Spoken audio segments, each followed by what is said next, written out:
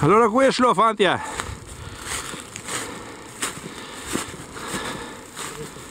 Andrej, kaj si naredil? Orka 100 metrov. Ogromno. Ja, ogromno. Za brvince. Brvinci noter. Ogromno za brvince, za nas ne. Kako se konča? Meander in se konča močno pihajočen dnesi. Kako jošča? Koliko dela treba za Hawapert? Odvisno, lahko bi bile samo dve akcije, ne manj dve, lahko bi tudi kaj več. Treba hrizati, Ja, trdo, močno, ne? trdo hriz. Trdo hrizati. In problem je z materialem, za dve akcije mora biti bi bilo za naprej pa In se treba odmikati vele ven. ja, Dobro. Zdaj je tako končanje, se vidi, gledam gor.